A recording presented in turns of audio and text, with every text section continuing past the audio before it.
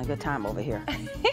Are you ready to say, oh, we have two adorable dogs for our pets of the week. Right here we have Stevie, and that's Right. Eydie, right? Right, she's like busy. She is very busy, but she's so sweet. Tell us a little bit about these two dogs who are siblings. Um, they they came from a litter of eight.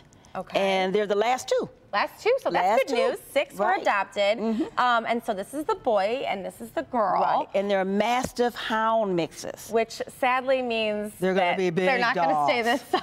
Very big. So don't be fooled if you have a smaller house. Uh, you're going to need a lot more space Yep. than that. So exactly. They're uh, gonna be a little bit bigger than lap dogs. Okay, what kind of family are we looking for? I think they would do fine with any family. Because they're young now. They're starting off, you know, small. Okay. So they'll grow with the family. Okay, good. Well, they are going to make great pets. So, uh, if you would like to adopt either Eydie or Steve, you can call Poet Rescue at 734 407 7638. Thank you so much, Patrice. You're welcome. Brandon.